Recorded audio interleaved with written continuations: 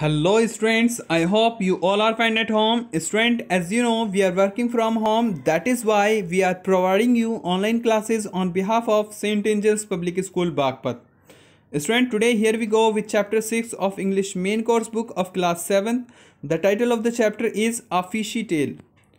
Student, I have already told you that this is a short part of a novel and the title of that novel is Three Men in a Boat was written by a great English writer Jerome K. Jerome. Student, we have already discussed the first, second and third part of the chapter. Today we are going to describe, today we are going to discuss about the fourth part.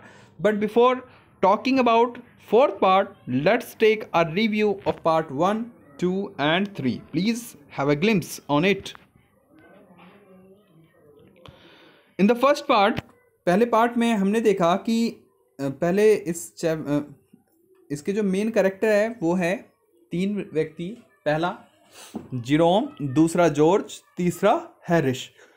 इनके साथ इनका एक कुत्ता भी है, जिसका नाम है मॉन्ट मोरेंसी। ये एक यात्रा पर निकलते हैं, एक पिकनिक पर निकलते हैं। इस पिकनिक के दौरान ये एक नदी की यात्रा करते हुए आगे बढ़ रहे हैं। आगे बढ़ते बढ़ते ये एक नदी के किनारे बसे हुए शहर के पास पहुँचते हैं, जहाँ ये अपने कपड़ों को धोने की कोशिश करते हैं। लेकिन इनके कपड़े साफ़ होने के बजाय और ज़्यादा गंदे हो जाते हैं, जिसकी वजह से इन्हें तीन गुने पैसे देकर अपने कपड़ों को धोबी से धुलवाना पड़ता है। अब ये शाम की ड्रिंक के लिए वहाँ पास ही के शहर में पहुँचते हैं। वहाँ उस शहर के एक छोटे से होटल में पहुँचते हैं और इस पार्ट को यहीं से अडोप्ट किया गया है। इस पब में, इस होटल में जहाँ ये पहुँचते हैं, ये पार्ट इसी पब के बारे में है। यहाँ पर छः मेजर करेक्टर हैं। First, Jerome. Second, George. Third Montmorency यहाँ पर हैरिस नहीं है। फोर्थ ओल्ड मैन एक बूढ़ा व्यक्ति, जिम बेट्स। और एक लोकल करियर जो मॉगल्स और एक सोलमन कस्टमर सोलम सोलम कस्टमर जिसका नाम है मिस्टर जॉन्स जो कि एक लैंडलॉर्ड भी है। तो कहानी की जो शुरुआत होती है, इस छोटे से सराय से, एक छोटे से होटल से होती है इनसे होती है, जहाँ पर एक बूढ़ा व्यक्ति पहले से स्मोक कर रहा था एक पाइप और वो यहाँ पर बैठा हुआ था तो जिरोम और जॉर्ज मॉन्ट पेरेसी के साथ इस पार्लर में एंट्री करते हैं, जहाँ पहले से ये बूढ़ा व्यक्ति बैठा हुआ था। बूढ़ा व्यक्ति जाते ही इनको विश करता है, गुड इवनिंग, और इनसे कहता है कि, आज काफ़ी अच्छा दिन है। तो जिरोम इस पर कमेंट कसते हुए कहता है कि हाँ कल भी अच्छा दिन था। और जॉर्ज भी उसे कहता है कि हाँ कल और आने वाला जो कल होगा, वो भी अच्छा ही दिन होगा, क्योंकि जो मौसम है, ये काफ़ी अच्छा है। और ऐसा लगता है कि शायद इस बार जो फ़सलें हैं, वो भी बहुत अच्छी तरीके से उगाएँगी जल्दी। ही थोड़ी देर के लिए सब वहाँ रुक जाते हैं और तभी जिरोम की नज़र एक कांच के बक्से पर पड़ती है।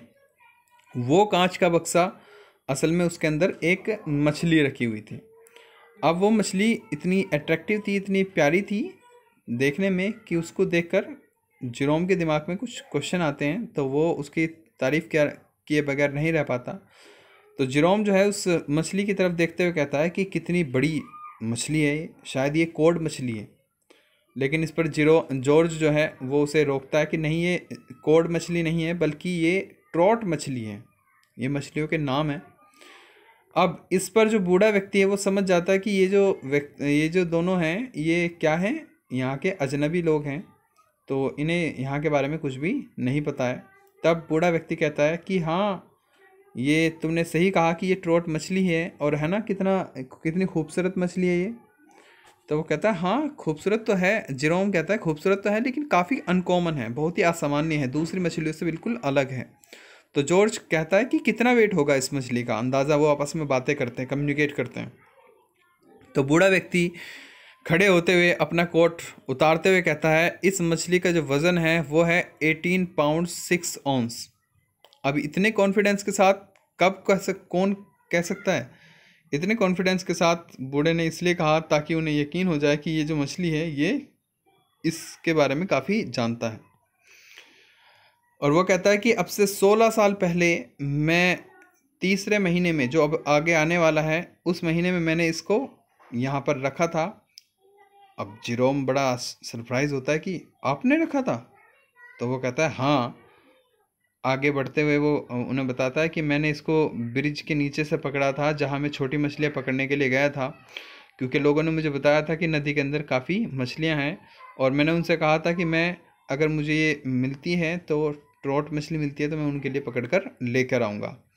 और तुम देख सकते हो कि ये जो मछली है, जो ट्रॉट मछली है, ये बहुत ही खूबसूरत है साइज़ में।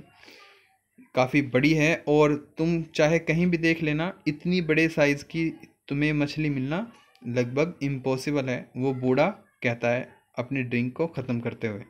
और आखिर में वो कहता है कि ये मछली काफ़ी बड़ी है और तुम्हें ऐसी दोबारा देखने के लिए शायद नहीं मिलेगी। और इतना कहकर वो उन्हें गुड नाइट विश करता है और वहाँ से वो बूढ़ा व्यक्ति चला जाता है। सो so, स्टूडेंट ये हमने फ़र्स्ट और सेकंड पार्ट में देखा था। अब थर्ड पार्ट में हमने क्या देखा? जैसी बूढ़ा व्यक्ति वहाँ से जाता है, तभी एक कैरियर एक वाहक, जो एक डिलीवरी बॉय होते हैं, एक डिलीवरी मैन था, जो वहाँ पर एंट्री लेता है। जीरोम पहले उसके एंट्री लेने से पहले उसे कहता है कि ये तो वास्तव में एक रिमार्केबल फिक्स फ़िश है, बहुत ज़्यादा एक अच्छी फ़िश है, देखने लायक फ़िश है। और तभी एक लोकल कैरियर जो है, वो अपना बियर का पोर्ट एक बियर की पोर्ट लेकर अपने हाथों में वहाँ पर आता है।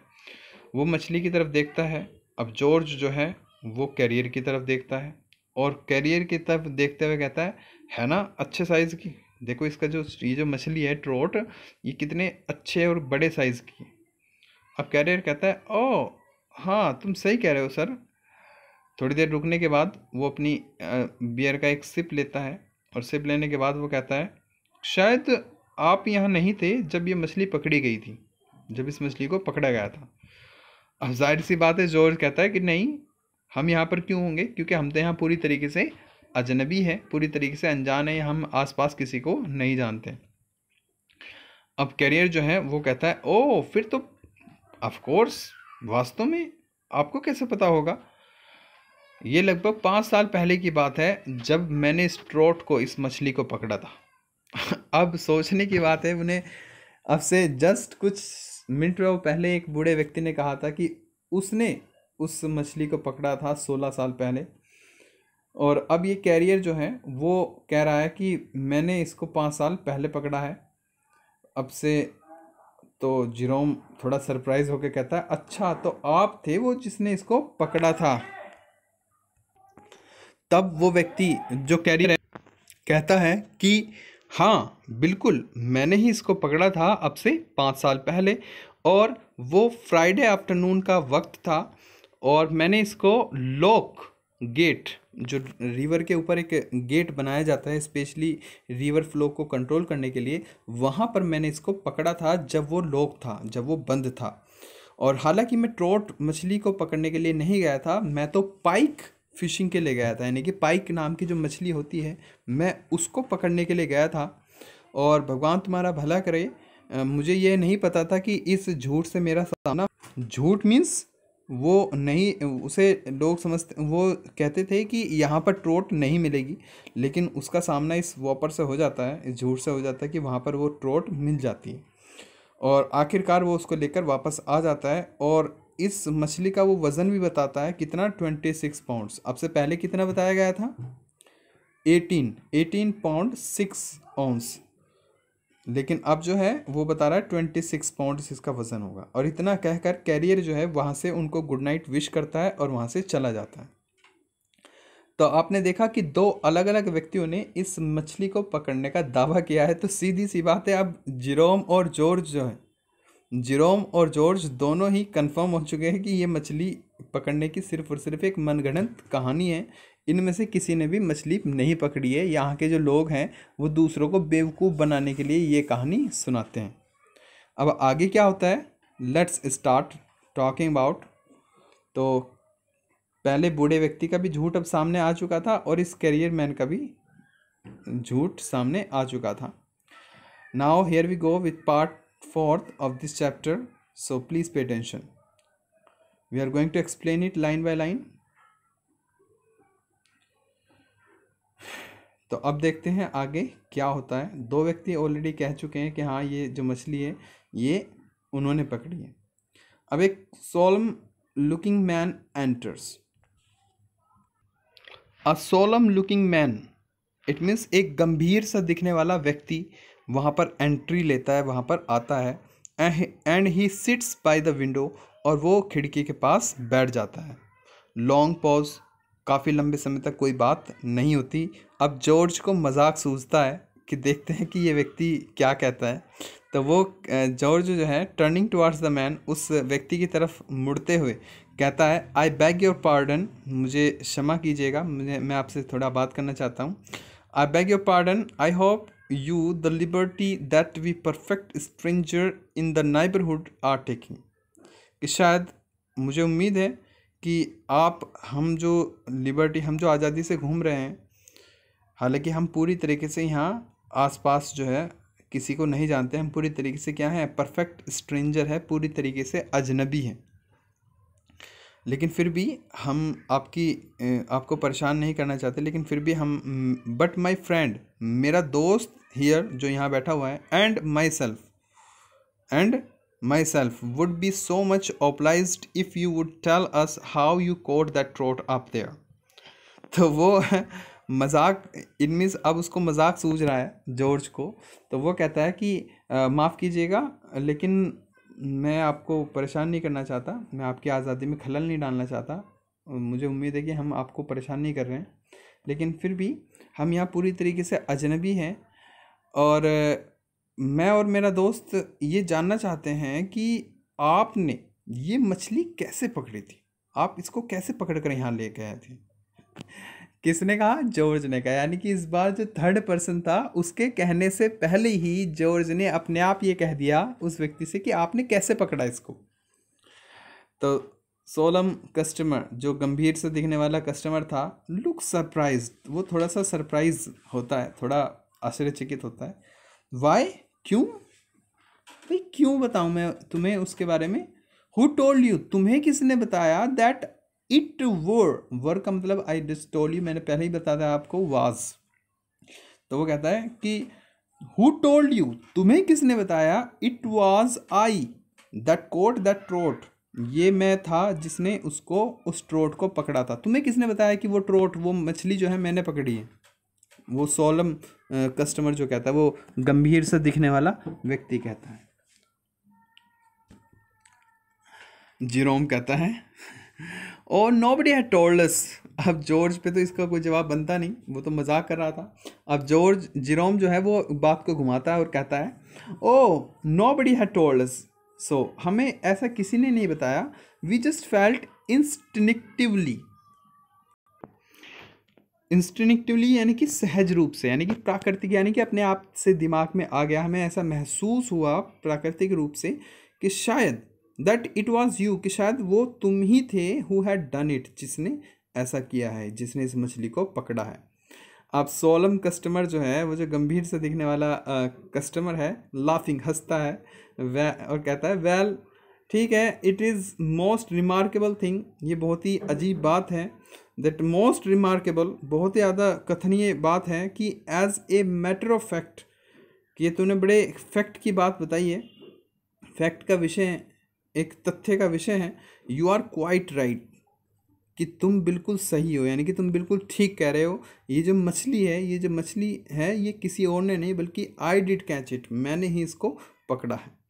But fancy you are guessing it like that but fancy लेकिन फैंसी फैंसी में होता है कल्पना।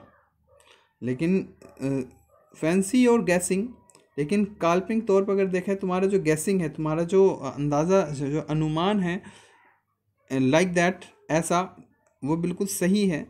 डियर मी और ये और कोई नहीं, ये सिर्फ़ मैं ही था। It is really a most remarkable thing और ये जो मैंने चीज़ पकड़ी है, ये बहुत ही ज़्यादा एक रिमार्केबल चीज़ है, बहुत ही ज़्यादा उम्दा चीज़ है, बहुत ही अच्छी मछली है।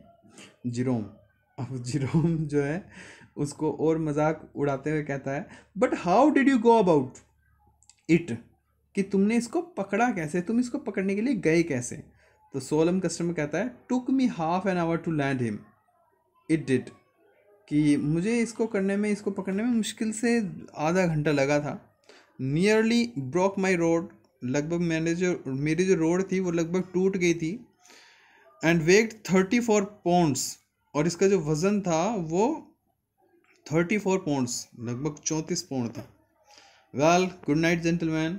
और वो इतना कहकर वहाँ से उनको गुड नाइट विश करता है और वो व्यक्ति वहाँ से चला जाता है, द सोलम कस्टमर एग्जिट्स।